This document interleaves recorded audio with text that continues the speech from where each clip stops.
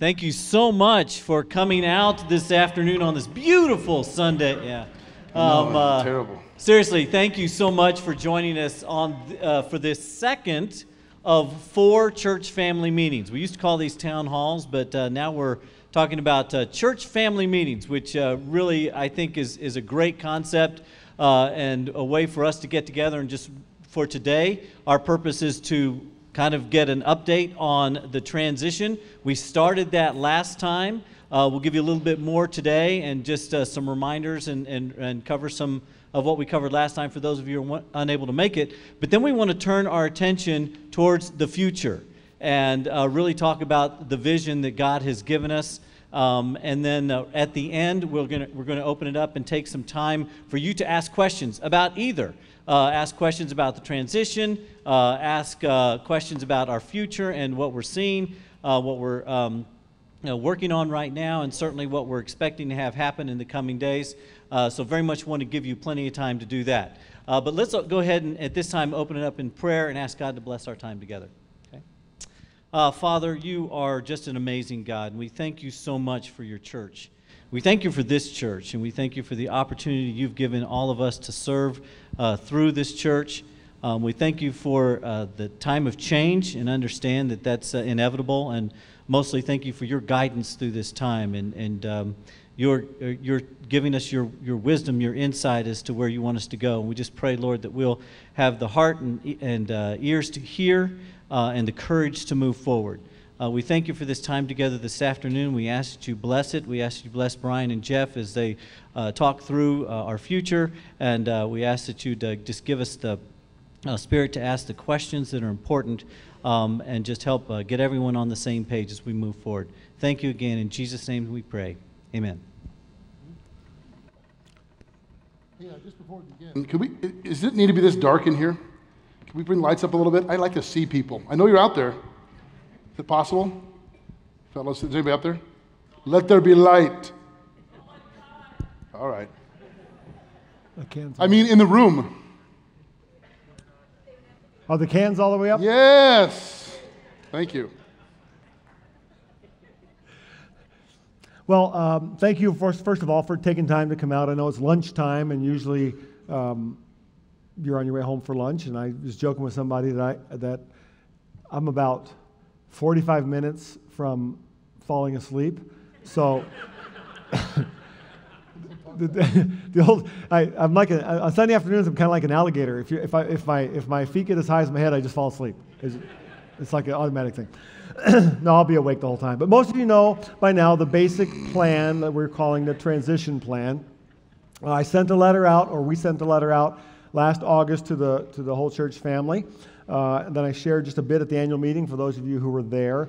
Shared much more in detail about a month ago at the East Campus at our first church uh, family meeting, and we took video of that, uh, by the way, and the highlights of that are on our website. So if you weren't able to be at that meeting, you can go to the website, you can watch and listen as we talk through much more detail about the transition benefit. I want to review just a couple of aspects of that to, to, to remind you, or maybe some of you uh, have, just to bring you up to speed, and then I'll move on to talking about vision in the future. But at FBCG, uh, we have become increasingly aware over the last decade or so that uh, succession planning is extremely important to the health of any organization, and in particular, um, to the long term health of the church. So, our senior management team, and that group we call senior management team is myself, Jeff, Pastor Bruce McAvoy, and Doug Kite, our director of operations.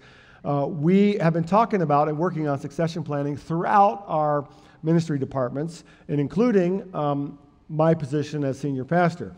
Um, I have come to believe during that process, we've been talking about succession planning for about five years now, which probably got me started thinking about it, but I've come to believe that God has prepared uh, both me and FBCG for a healthy transition uh, in leadership.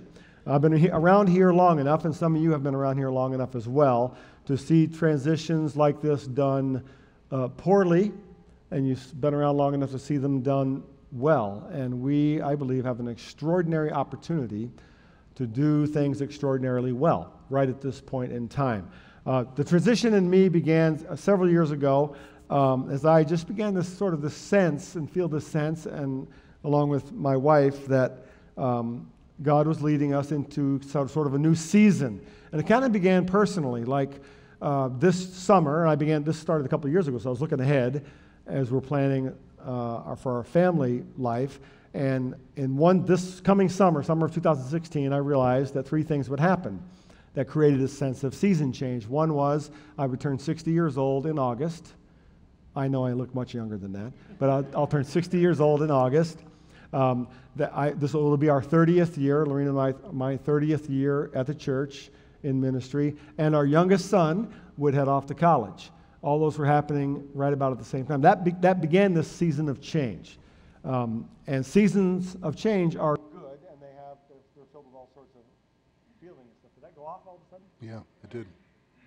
What Brian meant to say I didn't was, realize the seasons changed that fast. Okay. Is it on? Am I on now? Oh, there we You go. Thank you. Uh, so all those things were happening, and that, that, that started me to think about season change. Um, at the same time, Jeff was going through some, some opportunities and things he was thinking through. So all that came together, and I started sharing my thoughts with the executive council a couple of years ago. I think we're heading into a season. I think this is what I'm, uh, uh, this is what I think God wants for me, but I need confirmation. I need to, to, to you to help me with this. And so they began to work on me with that. And so the uh, Executive Council and the SMT have used all this time, the last couple of years, to prepare for this transition and put together a plan.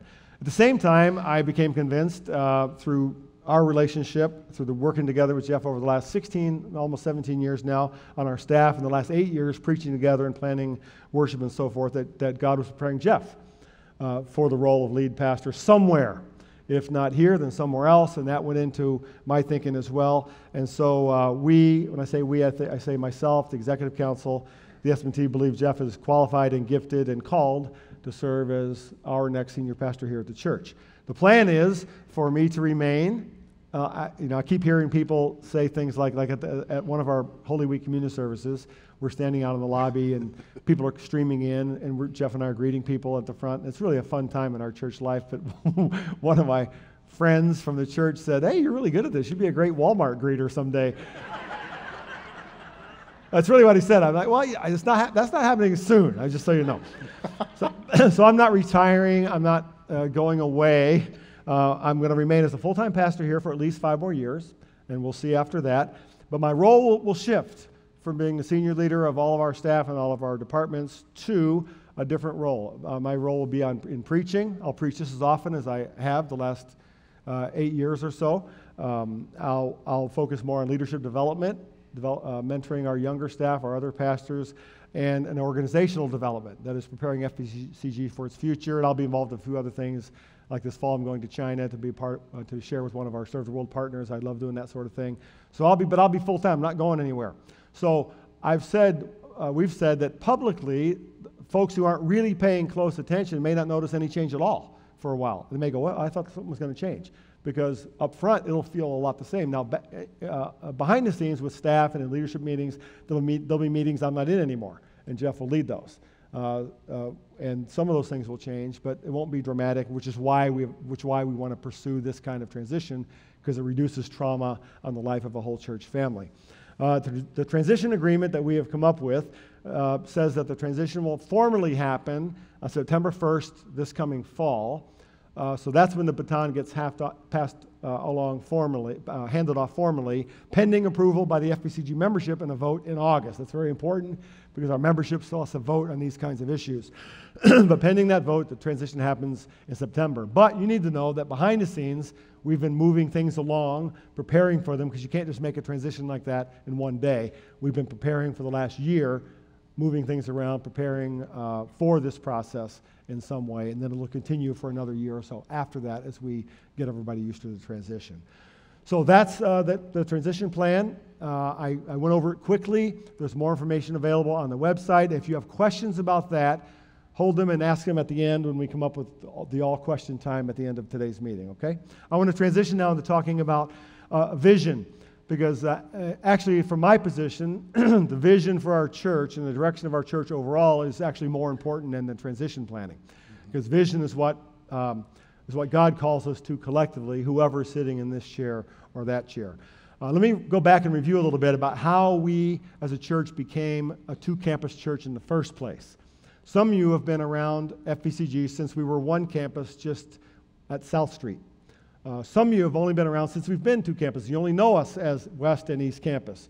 Let me review that process a little bit. I became senior pastor in 1994, and through the, the from there to the end of that decade, the late 90s, FBCG went through dramatic growth. I mean, d- double digit growth for several years in succession 12% growth, 14% growth. Um, and the East Campus uh, grew from one service to two services to three services, and then we added the Saturday night service, and we had nowhere to go. So, and we, the, we wanted to, we wanted to, we started asking, what do we do next? What, we exhausted all the options right there at that site, buying homes, building on the parking lot, tearing the roof off. We looked at all kinds of things, uh, and nothing really worked. So we started looking for property. And we eventually, after uh, some difficult decisions, difficult moments of disagreement and so forth, we located this property and it was much more money than we thought we'd have to expend, but we, we got the property, we spent several years paying it off, and in 2004 built phase one of this campus, fully expecting in a few years to build the rest of it, which was we were going to move everything out here, including a 2,000 seat worship center right out there, uh, a, a, massive uh, complex. Uh, then 2008 happened. Well, we, we, we went into two campuses. This campus grew very rapidly. We tipped very quickly, one third, two thirds. As a church family, it took us all by surprise. We weren't even sure people would worship in this room, and it filled up very quickly. We had two services and so forth. And then 2008 came. And it was right about the time we were uh, looking into the plan when are we going to start the next phase, build the sanctuary, and the, the economy went south. We put everything on hold and uh, began to reassess everything. And it was during that next couple of years we became convinced that um, by looking around the landscape of North American churches and by looking at our church, we became convinced that God wanted us to stay two campuses for the foreseeable future, not to build a big giant campus out here, not to spend that money, but to figure out how to do this. At the same time, the multi site movement around America was happening. People were going to multiple sites, and we learned how to do two site ministry here at FBCG. That's how we got to be two campuses, and that's how we are today. Then, uh, a few years ago, about uh, 2012 or so, we began talking about what else we needed here at this campus and at the East Campus because we knew the East Campus, the lower level especially, needed a lot of work, way out of date, um, and we needed to, to, invest some there. This, we were still experiencing growth at this campus. We needed to do some things here to allow for that growth to happen, especially in our midweek ministries. And so we, that's how we put together the, the, the, the expansion project that we called Growing to Serve. We initiated that. It included paying off our debt, which at that time was like $800,000, which we paid that off. We re- renovated the East Campus completely. Uh, the East Campus is beautiful now. Both levels are, are extraordinary. And we added space to the north edge of this building, and we left off a section that we were hoping to do. Had we raised enough money, the, the lobby was going to extend out that way. You still see the lines painted on the sidewalk out there that we would like to do eventually, including a remodel of a big venue out in the lobby space out there. So that's, that's what we did. And, but we only did part of that project, and we're within now shouting distance of finishing paying off this project. Uh, as you all are faithful, and as our church family is faithful, we, we are on schedule to finish uh, paying that off at the end of this year and be debt free again. Which meant it was time last summer to start look, getting out the plans again. Because we try to stay way ahead of it. Let's look at it. Let's look at growing to serve. Is what we originally designed the right thing? Should we keep going that direction or do we need to readjust? One of the things we've inherited here as leaders over the last couple of decades is we always evaluate. We, we, we don't just assume we're going to do the next thing, we reevaluate economically, fisc- fiscally, um, where our congregation is, change, pace of change, all that stuff. So we, we got up, started to get out the plans to reevaluate is what we had on the drawing board the right thing for us at this time? Should we build that side out? Should we do the things we were planning on doing? And right about that same time, we were getting out those plans to look at them. Uh, we were approached by another church in our region about the possibility of what they were calling a merger. Uh, and, and I'll, let, I'll, I'll stop there and let Jeff take over and tell you about that. Uh, that was, this is last summer now, and how that went and how that got us into thinking about uh, this next season of our vision for FBCG. Thanks, Brian. I always feel funny when Brian's talking. I'm just sitting here. I'm like, mm, yeah, yes, what he said, yeah. So anyway, yes to all of that. Um, as Brian mentioned, uh, we were approached by a church, and some of you may know about this church. We're not going to talk uh, publicly on about the name of the church and where it is, just because things are in discussion and we don't. But some of you may know about this. Anyway, it's a smaller church, and they were coming to the, what they perceived to be the end of their life cycle. Financially, critical mass, ability to sustain ministry, they were just felt like they were going to have to shut their doors. And we're looking for, um, actually, they were approached by a different church about that, about a multi site thing, and they didn't go that route, and they approached us. And at first, my first reaction, just personally, was why? I don't see that. We already have two campuses. It seemed kind of close. I wasn't sure. I just didn't have a vision for that. And I think Bruce and Brian and Doug and uh, those of us that knew about it all felt essentially the same way. Intriguing, flattering they'd consider us, but I didn't really see it. So we said, a, we said sort of a soft no. No, thank you. Uh, on, a, um, on a retreat for our senior management team, Brian and I and Bruce and Doug, in Lake Geneva, we sort of revisited that question. And independently, we all shared that, and I felt this way, there was something gnawing at me. I couldn't let that go. Like, is that something we should pay attention to? As Brian said, one of the things I've come to love about our church, and not just our leadership, but our church as a whole, is that we're willing to readjust where God leads. It's very unusual in a church 120 plus years old to, to re, readjust and realign with the vision as God directs us. And so I just felt in my spirit like maybe there's something there we don't yet see. Shared that, and everybody felt the same way. Uh, is that fair to say? We all felt the same way, like maybe we should revisit this. Didn't know what that meant. Didn't have a vision for like taking it over. We didn't know what we were thinking. Could it be another site for a resource center? Could it be a, a food pantry, a ministry center? We just didn't know. But we did all feel like we should perhaps not be so quick to close the door. Um, to help us along that line, we brought in a consultant by the name of Jim Tomberlin, who's uh, arguably the national expert in multi-site, multi-site movement among churches been a pastor, experienced it in different churches, travels around the country now, helping churches do this effectively. And he came in and did a, a weekend visit for us, all of our services, and visit with our staff, and said some several things to us that kind of woke us up uh, to this possibility. And, and by, by the way, what I'm about to share is not specifically related to that church, but to the idea of multiple campuses for us the most significant thing at first for me was after that those meetings we went out to dinner. I think i shared this the last meeting i don't recall exactly. But we went out to dinner uh, after the saturday night service and it was you and i and doug and, and, and jim tomberlin. And he said maybe you should think of yourselves as a neighborhood church like the old parish model. When he said the phrase neighborhood church something in my mind and heart clicked. I went i like that. What, that, so it just struck me. Um, I even texted Brian on the way home. We both shared that. We both had a, a similar response to that. Talked about it with our senior management team. Similar favorable response. Something about that idea. Talked to our staff about it. Our executive council about it. Same idea. That there was all, people were, were, were moved by that. Yes. Now, what I, this is still taking shape. So we're sharing with you the sort of the embryo, embryo of a vision, if you will. What I mean, what we think we mean by that is not multi-site where we're trying to put a video venue in every city in the Chicagoland area but a strategic, gospel centered effort to reach our region where God's placed us, our neighborhoods. People live in neighborhoods. And one of the things that struck that, that was said to us, to me, by Jim Tomberlin, that struck with me is do we really expect more and more people to drive from farther and farther away to a bigger and bigger box here? Is that what we expect? And I, he, one of the things he said is the massive megachurches in the country, huge, enormous worship centers, those will be increasingly difficult to fill and maintain and fund in the future. In a way, I think God has protected us and preserved us from being um, strapped with that massive thing where the tail kind of wags the dog. So the question for us is not, not could we do it? We probably could. But should we and why? And what I'm coming to see and feel, uh, and I think we are as well together, is that it's a strategic answer to the question why for the most effective gospel impact in our region. People live in neighborhoods. You drive through neighborhoods to get here. You pass by other people uh, it, to, to drive to this church. Why? What if we began to think about multiplying who we are in different neighborhoods around the Fox Valley? Over time, I'm talking just down the road, right? If you ask the average person if they like, uh, if they would prefer a church of 250 or 2,000, what do you think most people would say? 250. Feels better. But if you ask them what they would prefer from their church, they start talking about things that only a 2,000 person church can provide. In the neighborhood model, perhaps there's a way to do both.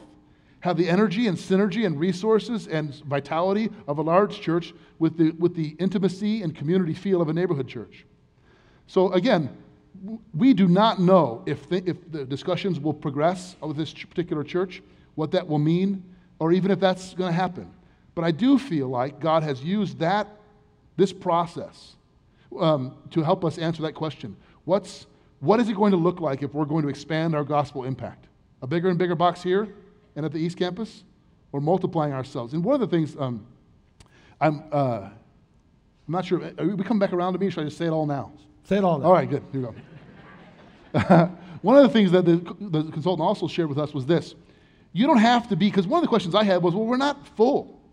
It's not like there's no seats left. I mean, we're, we're comfortably full, but there's still room. Why would we do this? He says, actually, you don't need to be full to multi site well. You need to be healthy. He says, you'd be surprised how many unhealthy churches are trying to do this. And then he said, we didn't say, but he implied, and I, we talked about this, was we almost have not just an opportunity, but a responsibility um, to reproduce who we are in a healthy way in other places. Uh, because, you know, 80% of our people drive from 15 minutes or in, inside of that. What about those that live outside that? What about those that we expand our reach to, into different neighborhoods? Uh, it, has it, been, it, it, has, sometimes you get ideas and then for me, they kind of wane over time. You know, eh, I don't know if that was a good one. Uh, this hasn't. We feel like God is, is sort of galvanizing us around this. And I do not know yet, nor do we know what that will mean or when that will happen, but we think it's a good and the right time to talk about. We think this is where God is aiming us as a church, and we're willing to walk that path. Just as we never intended to be two campuses here, but we are, and God's done amazing things through that. I think perhaps this is another redirection for us as a church family.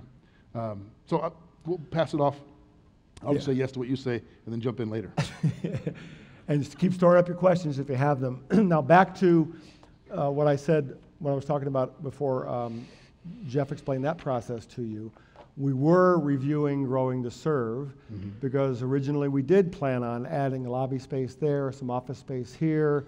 Um, uh, and so we, we still we, we, keep, we keep looking at that. Uh, and as we do, what, I want, what, what we want to let you know is that looking forward, um, what it means is we anticipate that this could mean we're moving in two directions at once mm-hmm. over the near term future.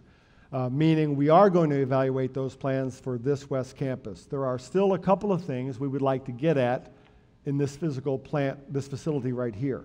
Uh, for example, um, we have uh, some nursery space issues. Mm-hmm. Um, not necessarily always on Sunday mornings, but uh, midweek with our women's ministry, which is, which is an area of ministry that's growing and it's one of our major outreach engines.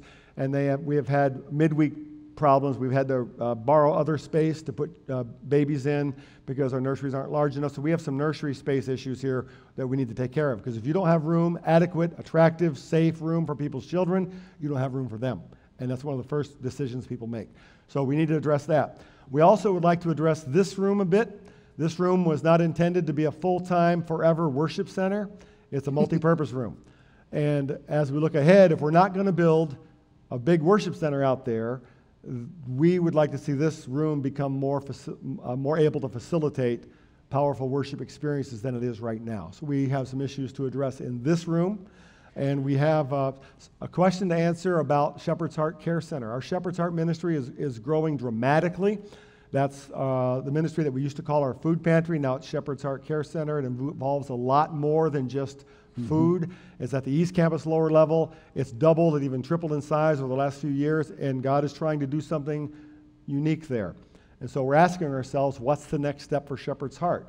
Uh, do we do we create new space out here for a freestanding other facility? Do we liberate office space and bring it over here so we can turn the entire lower, lower level over there into Shepherd's Heart and let it grow? We don't know. Those are all questions we're asking. So we are anticipating that when we come back to you, maybe this August in the annual meeting, maybe some other time, with here's our next Growing to Serve ministry expansion project, it won't look like what we thought we were going to tell you two years ago. It won't just look like here, it's going to look two pronged. It's going to say, we're going to do this at the West Campus at this amount for this reason, and we're going to do this preparing for our third campus or have the third campus in sight or to re- rehab something or whatever, or we're going to be preparing for that. Does that make sense? We're going to likely be looking at two directions at once. Now, like Jeff said, we don't, we're not far enough down the road with the third campus idea yet to even know where it's going to be or what it's going to be. We just feel this really strong pull mm-hmm. over the last eight or nine months to be paying attention, that God's trying to do something. And He's got our attention, and it's time for us to let you know about that He's got our attention and what that might look like going forward. So, uh, oh, in, I was going to add, incidentally, along that lines, another church uh, also approached us from further away, uh, still in the Chicagoland area, but a little further away, about the same thing. Would you take us over? Inside our denomination, and we felt like that was just too far away, and we were already wondering about this one, so we said no to that. But it, what it did is, it, I, I didn't even realize this was going on. What it did is affirm to us that there's something happening here among God's people in this place. That's a good thing that God's doing, and people see that. And churches that are that want to see ministry continue where they are it's not unusual. It's going to be increasingly common for them to approach churches like ours to say, Can you help us? Would you take us over? Is there a, a merger that could happen here? So, anyway, there's been some other affirmations along the way just to throw that yeah, in. one of the things that we learn, and many of you may know about this because you read or you see it online or whatever, but something like 70% of all churches in America are in plateau or decline. Mm-hmm. And there's a lot of small churches who, that are just dying. Uh, mainline churches, churches even in our denomination that are dying, and they face terrible choices, meaning our church is going to either become a restaurant or it's going to, we're going to, we're going to, we're going to give to someone who can, who can keep ministry going here after however many years. And my brother's church has taken over another property. We, we hear it all the time.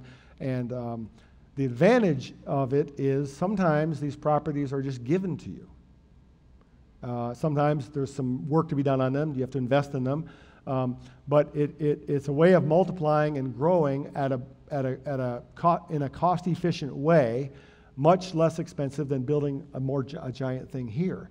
And it puts you closer to neighborhoods, and it even makes your organization, if you think just in a business model, church isn't a business, but it behaves in some ways like a business. In a business model, it makes you less vulnerable to one of your sites going bad. For example, if we, if we had someday four campuses and one of them really struggled for whatever reason, you can just cut it and sell it. You don't have to maintain the giant mothership somewhere and go into debt to do so. So there's a yeah, lot that's of not going to happen. We're going to reach people. yeah, but uh, but for, so for, for, just fiscally and and organizationally, it can be a wise thing to do. Now, every single one has to be carefully considered. But the point is that, and what Jim Tomberlin told us is. Uh, that the, the reality is, so many churches every year just go out of business in America just completely cease to exist. They close. And healthy churches, strong churches that are gospel centered, uh, have a responsibility and an opportunity here and there to, to infuse new life into those places that exist rather than them becoming restaurants or, or, um, or just razed uh, and can keep gospel ministry in communities.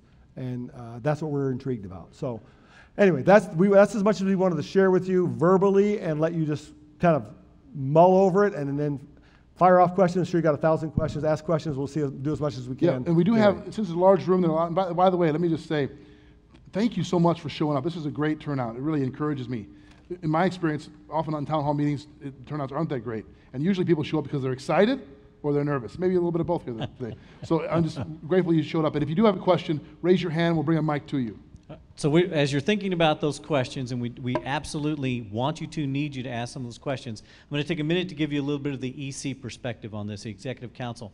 You know, in our role as the board to provide oversight, we, we sort of have a two-pronged uh, role here around balancing trying to get things out of the way so that they can move forward quickly and stopping them from moving forward too quickly. um, and I have to tell you, when, when we were first introduced to this idea, you know, I expected a lot of... Uh, a lot of trepidation, a lot of concern, a lot of questions, a lot of uh, issues. Um, and certainly we have questions. We have a lot of things that we still have to uncover, figure out, etc. But what I, I can tell you that the EC saw from the very beginning is what I hope you just saw in the two of them, and that was vision. Um, you, you, hear them talking, you see the excitement, Jeff trying to stay in his chair. Um, you know, we, we felt that, we saw that, and I have to tell you, the, the immediacy around coalescing around a vision uh, was unanimous. It was exciting. It was something that I, being in church governance here for many, many years, hadn't seen in a long time. I mean, I think we've done wonderful things, as we've talked about already our ability to course correct, your ability to be flexible, kind of move where God's uh, directing us, has been, I believe, a, a, true testament to the faith and, and the uh, willingness to be guided uh, as a congregation. It's been fabulous.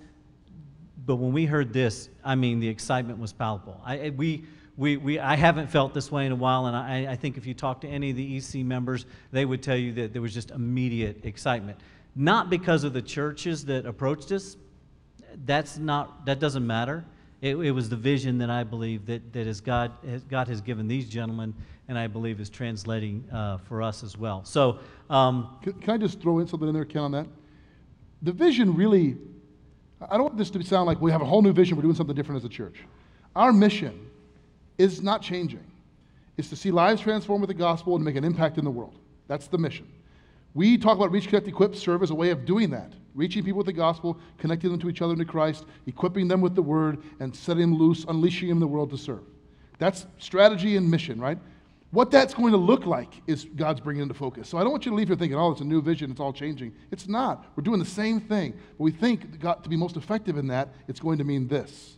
Does that hope that's helpful? Oh, I think it's very helpful. Again, he's, he's really excited about it. Yeah. All right, let's take some questions. Adrian back there too. Adrian. Yes. When we, uh, before we started in this second uh, site here at the West Campus, we were growing so rapidly at the East Campus that we started Valley Brook Baptist Church with Brian Smith. And we asked several members of the congregation to commit to go there for a period of time to help that get launched. And we did that because we didn't have room there and it was going to take a while for this to be able to get developed. Is that something that's also in a future plan is to grow in some of these neighborhoods by doing something similar to that? Great, great question. So, um, church planting and multi-siting are similar but different things. And you're right, we planted a church. Um, if I don't quite get the question, I think there's several parts to it. I'll, I'll try. Um, national surveys show that 60% of church plants fail within the first three years. Just don't, they don't make it. Over 80% of multi-sites succeed, thrive. Now, there are lots of different ways to do multi site. Most of us think about like what we think of Harvest or Willow, where there's a big video screen and you just kind of plug and play. That's not what we're talking about, to be clear. We would see predominantly live preaching with leadership raised up in that neighborhood. Uh, so, what makes a church multi site is not whether or not there's a video venue, but how, if it's centrally governed, reproducing our DNA and having a central kind of governance and connection to the mission and vision and values. So, when we say multi site, that's what we mean. It's kind of a to your point, Glenn, it's kind of a hybrid between the old church plant model and the, um, and the other extreme of, of, of uh, campuses. Does that make sense? Um, some churches that have multi-sited for 10 years are now, now just beginning to cut those churches loose. Part of the reason church plants don't make it is they cut the umbilical cord too soon. Mm-hmm. The DNA isn't transferred enough, the strength isn't there, they aren't given enough resources to thrive, and they are cut loose too soon, they can't make it. Perhaps, we don't know what God will do, but perhaps this would be a pattern to five, six, seven years down the road, have independent churches that are thriving. We want to hold that loosely. But I do think the multi site neighborhood idea is a way of ensuring that there's really thriving gospel ministry in these locations before you just cut it loose to sink or swim. Is that, is that get at your question? Yeah. Okay. Adrian? Thank you. As we consider um, expanding our, our influence outside of the city limits of Geneva, and, and also understanding that our culture has a pretty bad stereotype of the word Baptist. are, are, we, are we also considering a name change? Adrian is not a plant. I was going to say the same thing. Yeah. Thank you. You got it. Just you asked the question exactly like I asked you that. Yeah. No, that, that's not true. Don't say uh, stuff no, that. Just someone's walking out of your mind. that's a great question, and uh, and I think I think yes, we would we would say we're open to that. Um, I like the phrase neighborhood church. Envision neighborhood church at Peck Farms, neighborhood church at you know Pepper Valley, neighborhood church at wherever. So uh, we don't have plans. We're not rolling out a new name or anything. But I think if, if God did this, and again, we're holding this loosely, we don't know when or, or if this will happen. But if, if God did this, it would be the natural right time to make such a change. Let me just talk a little bit about that. Those of us who've been around leadership here for a long time, I mean, I've heard, I've heard the, uh, the notion of changing our name f- for uh, all my 30 years here. It happened, uh, somebody brought it up at almost one of the first meetings I was in.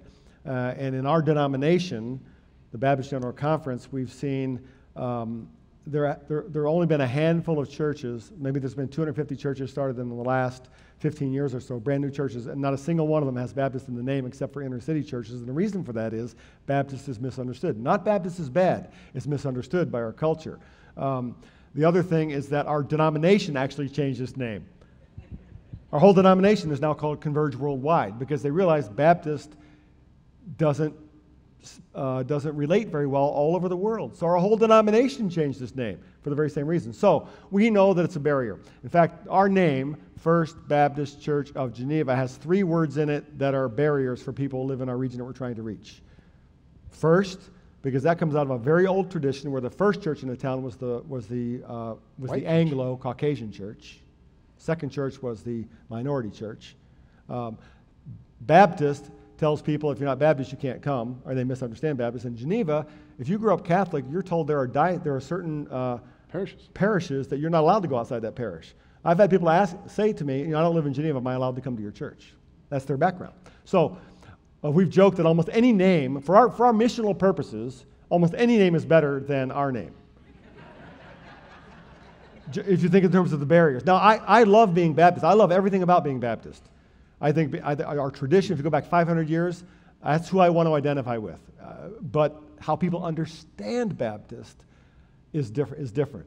And if that's a barrier to them hearing the gospel, I think we consider removing it. But that, that's, a, that's something God will do in us at the right time in the right way. And I also, the neighborhood Lots church. more thing- church family meetings. yeah. but neighborhood Yeah. church, there's no barriers there. It sounds kind of like us, and it, it removes some of the things that people misunderstand, and we can stay as Baptist as we want to be within that. So, It's very Yeah, so- important. It's very important to reiterate. I, we love this church. I'm not ashamed at all of who we are, and I'm not embarrassed personally about the name. But I have seen in 17 years almost of being here that it has been a barrier to people. I used to lead every one of the new members' classes. That always came up. Well, I didn't know what you Baptists do. You know, do you eat your young? How does it go? I don't want to be a part of it. But they, Yes, they were, they're nervous about it. So But you know, it just just to make sure people understand, th- this is something we understand. There's a certain level of sensitivity around that, and, and we're going to be very careful to talk through that, process through that. Um, you know, we're not going to change the name to change the name. If if the vision and and the direction, the mission, and how we accomplish that drives us to that natural decision, then that's the decision we need to make to accomplish the vision that God's laid out for us. I do want, though, Brian, if you would respond real quickly, just to make sure people really hear this. The, the difference between a name and how we act as a church, how we act as a church doesn't change. Exactly. Yeah, that, that's probably the most important thing. Um, like I said, the, the, the Baptist tradition, if you study it, is, is, is a beautiful one. Uh, ba- Baptists going way back are people who, who were absolutely committed to the, to the truth of God's word. And when wanted to be able to preach and teach and practice God's word as they saw fit without an authority in the state or the Pope or somebody else telling us how to interpret it and how to live it out. That's our tradition. People died for that tradition in Europe 500 years ago, and they came to this country. Our predecessors in this church came here for that religious freedom. We will never disrespect that aspect of our heritage. The question is in our culture today, do people understand who we are before they're in among us? And my, I think that's the question we want to answer. If, if I, that- I had a that- friend of mine who said uh, he's a, a Baptist, Southern Baptist church, and he said, in people outside of his region think of Baptists as potlucks and protests. he said that's the way they think of it. I like potlucks, Oh, that's good. Did you? not so much Uh, protests. do we have uh, Mike over here, please? Oh, you know what? Just use mine. Hi. Okay. So, what is the the church plant like? What is their population like? Is it all like old people, or and that's why it's dying, or is there families, or that type of? You're talking thing? about the church. Define appro- old. You don't need to be asking that. I need would to say be not asking that. bearing children anymore. Yeah. Yeah. Type of You're talking about the church that approached us? Yeah. Go Yes. ahead. Go ahead, Jeff. Yes, um, it's predominantly an, an older congregation, um, and their uh, the way, their own words for it are this: They're, um, they are so busy just servicing the, the few that are there and, and, and trying to keep the doors open, they can no longer do any ministry. And young families, younger people just aren't, it just doesn't feel, it's not attractive. Okay, so then I have another question. So what part of our, is there any percentage of our congregation that currently lives in that area? For example, okay, that, that's a great, that's the Yes. great next question. You're thinking right alongside with, with us. Our thinking right now, and we've actually visited, um, Jeff and I flew over to Ohio to visit with my brother's church leadership. They have four different sites along to, with their main one. They've done it all sorts of ways. They, they, a church was deeded to them. They, then they bought property and built another one. They took over, a, they're looking to take over a theater. They've done it several ways. We went up to Minneapolis a couple weeks ago, and visited with a church up there. We're trying to learn as much as we can from people who've done this. Our thinking is whatever facility, the hardest thing to find is the right place for a next campus. That, that's the biggest decision where it is and, and whether there's a, a neighborhood there that can be reached. And we would make the decision based on where it is, what it would cost us to get it, if anything, what it would cost to make that site viable, where it is, how many of our people right now come from that neighborhood, and how many of them would be willing to go there and reach their neighbors. Now, uh, it's possible that some people from the neighborhood would rather just stay here because they're not terribly um, uh, entrepreneurial or evangelistic, or they don't, they don't see that as their calling. That's fine. But we would look for people who- for whom they go, who are excited. Yeah, that I live there. That'd be a great place. I could take people right down the street. And so we would, and in this particular neighborhood, we have tons of people who live there. Um, so our question will be, does all that synergy come together to make sense? For us because the neighborhood model we're not we, won't- we don't want to go 40 miles from here and put a video venue in we want to be related yep Uh, My question follows up exactly on that, but um, in the spirit of sharing our, D- sharing our DNA, um, do we have, and we have we looked at or felt led to the staff that would uh, further carry our DNA? That Have we onboarded for, uh, people at this point within this culture, within this dynamic? Because as a member for many years and bringing children in, and throughout almost 20 years, I've brought 18 and again two year olds. So I see the same faces in the nursery, in the senior, sta- uh, senior children's staff, and that stability has been critical. And you talk about sharing that DNA, and it's not just room in the nursery, it's faces, it's con- consistency, it's people that we feel good about. And, and, and God leads those people. Are we seeing those people to bring on? That, that's, first of all, I think you're very insightful in your, your comment that it's not just space, it's people that create the DNA. It's, of course, it's, it's people. Um, to your question about do we have a team assembled? No, not yet. But we would, I, I am of the opinion, this is not something you hire outside for. This is, if you want to reproduce who you are, it should be who you are. And so we are in the process right now of thinking about, well, who would that be? What would that look like? You know, and, and again, I don't, I don't, it's important we don't get hung up on this particular church and this particular, this, this may not happen, this the one that's approached us. But it has caused us to ask these questions and say, we think this is where God is directing us. And yes, we are in the process of not only identifying, but laying out paths for other people in our church to move into positions of leadership. One of the things that multi-siting can do is create opportunities for young leaders and, and leaders inside the body already to have, uh, they would have, uh, otherwise have opportunities to grow their leadership. So, so carrying that a little bit forward, first off, love the passion because that's exactly what I think we, we need to focus on when we talk about replicating the DNA. Creating what you enjoy here, as Jeff referred to earlier, when he said people maybe want a smaller experience for the intimacy, but they want the services and all the resources that come with a 2,000 member church. Uh, and all the things that that can provide. And, and that's wonderful. That's exactly what we're going for. But that DNA, that experience that you have in the children's area, in the youth areas, uh, in women's ministry, et cetera, across the board, is exactly what we aim to duplicate in these different areas. Um, but the other piece of the puzzle that, that I heard in that, and, and I hope you, you can draw the or connect the dots back to what Brian talked about earlier in terms of his new role around leadership development. As we look to see how this develops, and as Jeff said, we, we bring up people through our organization, we help them grow the DNA or, or transform to the DNA of this church.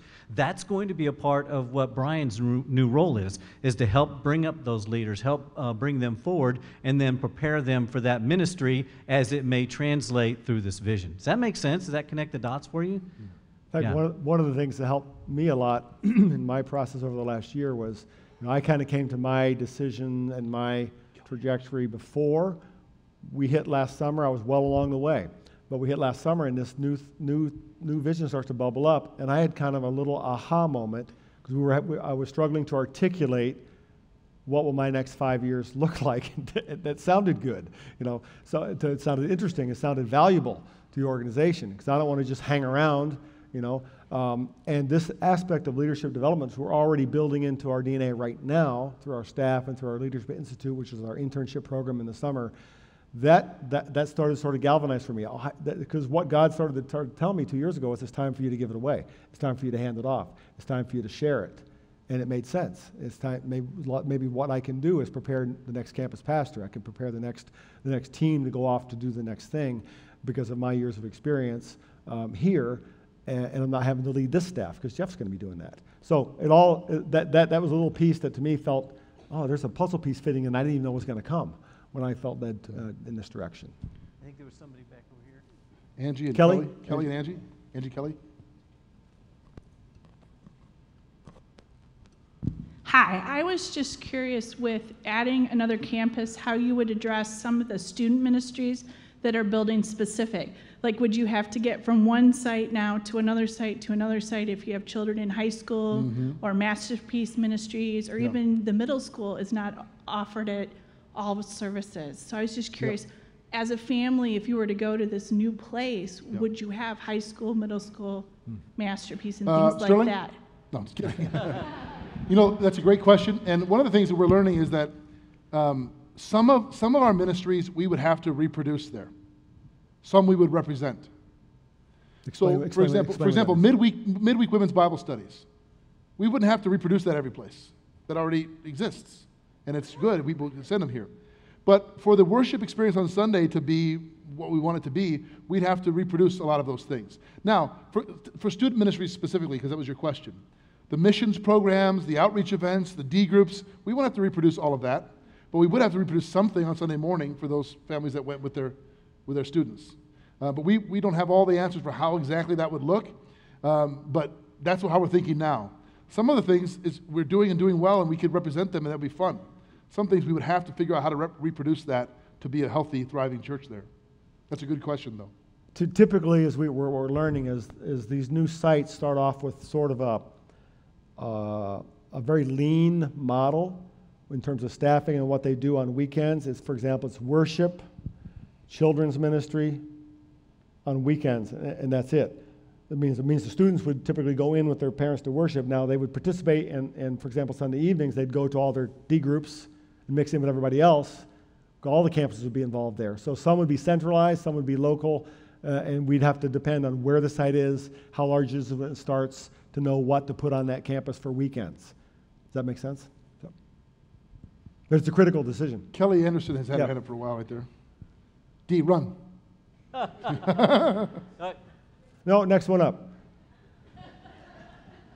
I'm, I'm short, so she probably didn't see me. Um, I, I just, this kind of tags on to the question that was um, just asked, but uh, one of the things that is really exciting to me, hearing about this for the first time, is uh, the aspect of starting a church from scratch with the idea of knowing that you've got many special needs families, um, either with children or even adults, uh, who from the get go might be potentially um, in mind as we're designing and helping to build those churches. Um, so, eh, would Masterpiece in particular be something that we would try to uh, provide for in each one of these sites? That's a great, uh, Masterpiece is quickly becoming part of who we are. And so, yes, I think we would want to be special needs sensitive uh, and strategic about that at any of our sites. Buddy Break and other things, again, we might represent those there. Uh, but yes, I think, I think that's become part of our DNA, part of what we want to reproduce and who we are. And part of the reason people come so, from so far away to the church. And so we'd want to do that in other places as well. That's, but I'm glad you asked that. Uh, the question that I have is uh, whenever there's a merger of two different cultures, that uh, somebody has to yield in some way, shape, or form. Now, in the, the case of in your discussions with multi-sites and mergers, uh, how has this uh, issue been addressed? That is, the, the church that approached you has obviously got a, a reason for merging. They just didn't want to do it because they wanted to merge and, and share our name. So that there's going to be people there that are not going to agree with us in way, shape, or form. Uh, they've got uh, people that have left for whatever reason, leaving behind. Uh, the whole issue of their leadership may or may not be compatible with ours. So, how do you integrate successfully something into our culture? Great. Oh, yeah, some great You guys, you should be on our, our all over. You're asking exactly the right questions. Merger is a bit of a misleading term in this situation, Tom. Because the truth is, in, in a situation like this, it's probably more of a death and resurrection, where that entity ceases to be and it's reborn as something new.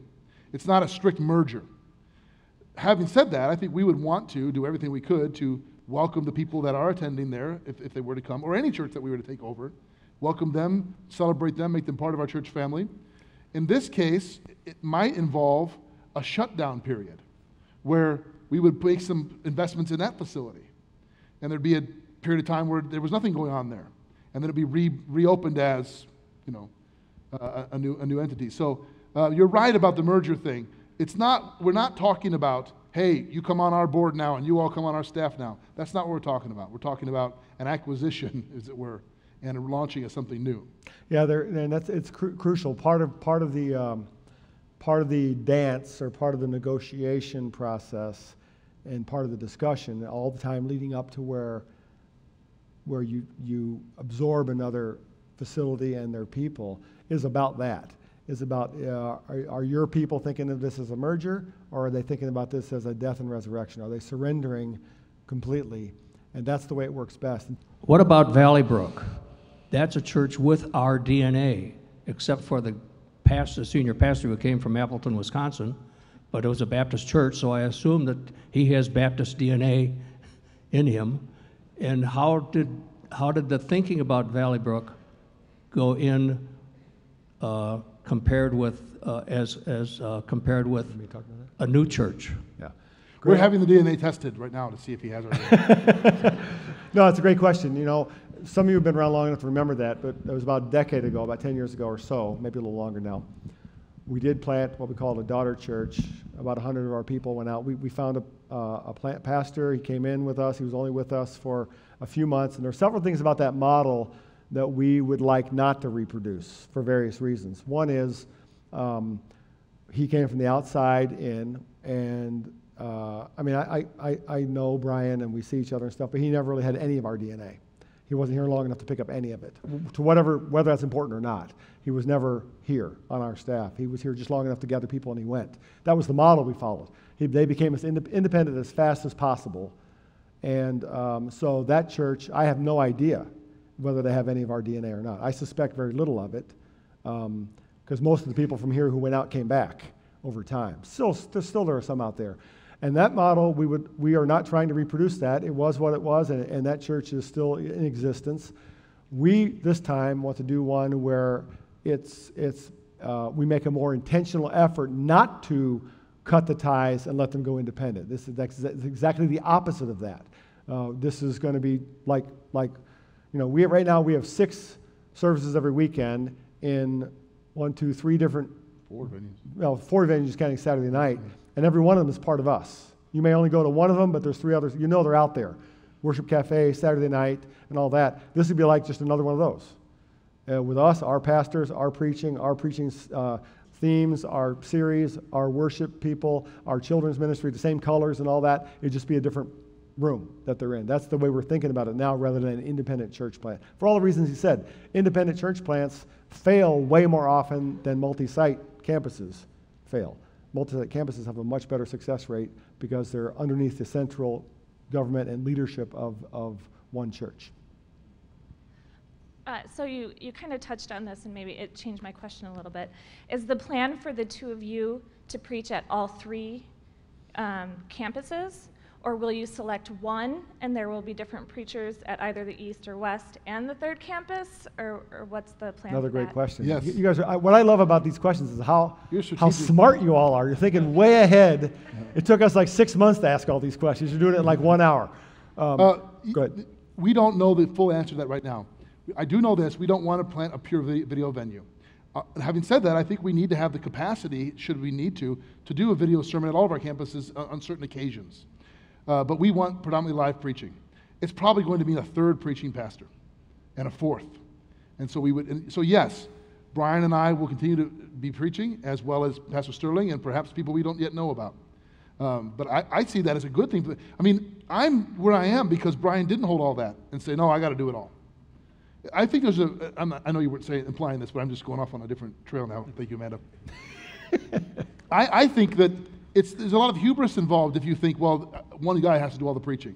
There are lots of gifted people in God's kingdom and in the churches to raise those people up and identify them and, and set them loose. So, I mean, I wouldn't be sitting here if Brian had said, well, no, let's just do video. I can do it all. Um, and I think there are other people that would, we would want to do, excited to do the same thing with down the road. So, so- right. I, We, there would be a, and the, I think our assumption would be, with our third site, there would be a designated campus pastor who would be their pa- that pastor. He would preach there most of the time, but we would be free to rotate uh, as we saw needed to make sure people felt and knew all of us. But there would be a main campus pastor that they went to. That was their go-to guy. I want to be careful I don't say more than we've thought our way Yeah. through yet. Yeah, and I was just about question. to do that. Um, this is the second meeting of Yeah, four, yeah. and these are fantastic questions, uh, and we want you to keep them coming. Uh, we want to use the next two meetings to really start to uh, articulate some of the details, some of the refinement, uh, some of even the course correction around this vision, this thought, and hopefully uh, by the four, fourth meeting we'll uh, culminate with some some um, basically some action steps. What, what's next? What do we need to do? Uh, how do we need to involve you? And certainly, uh, what do we need to put forth to the membership in terms of an actual vote to give us the authority to move forward at certain levels? So those are those are conversations to come. Um, but what needs to frame those conversations is your continued questions. So uh, we would very much appreciate, need, ask, beg you to continue to the conversation, uh, to send your questions to Brian, to Jeff, uh, to myself, to anyone on the executive council, so that we can continue to hear from you and continue to make sure that we are addressing the issues, the great questions that you've brought forward, uh, adjusting our, our thinking where we need to just based on your feedback. That's the most critical process hmm. that we have right now is to get feedback from you, understand if this is resonating with you, understand if we're on the right course, and then course correcting as appropriate. Hmm. So this is not just a feed you some information, this is a call to action to you to give us feedback. Okay? Very much desperately need that. And again, thank you for today's questions. They've been fantastic. We're nine minutes over. I want to be very respectful of your time. Before, before you pray to close, can I? But before I pray to close, I'd like Jeff to just make. You know, uh, I said at the last meeting, and invited you, and many of you have responded back to this via email or to me and to us, to, to invite you to pray with us. Because Ken's right, we need your feedback. We also need your prayers. We don't want to do anything God isn't leading us to do, that isn't the right strategic move for the sake of the gospel and His kingdom, and that we aren't aligned in. So I want to say again, we invite you to pray with us, pray for us, pray together for three things. For um, unity, it doesn't mean we all agree on everything, but we're unified in who Christ is and where He's guiding us. That we would not be divided over this. Second, for clarity, increasing clarity on what God is showing us and where He's leading us. And then third, for the courage to follow that lead in the right timing. And I saw a post by Laura, my friend Laura over there, just this morning, where she said, praying for our church. She said those three things. And then she added a fourth thing humility. So thank you for that, Laura. I think that's a good, good addition. That in all these things, we'd stay humble and open to where God would, would lead us. So just wanted to throw that in there before you wrap us up. Perfect. Amen. Thanks, Jeff. Uh, let's ask uh, the Lord uh, to, or thank the Lord for this, this time together. God, uh, as Jeff just said, um, it is so important to, to bring this back to you, to pray, to earnestly seek your will, your wisdom in all that we do. We thank you so much for this, your church. Uh, we thank you for the opportunity to serve in it. And now, Lord, we just ask that you continue to guide us, that you give us wisdom and give us the clarity, give us the humility, um, give us the courage that we need to step forward as you would have us do. Thank you so much for this time together. Please bless everyone here and bless us throughout this next week. In Jesus' name we pray. Amen.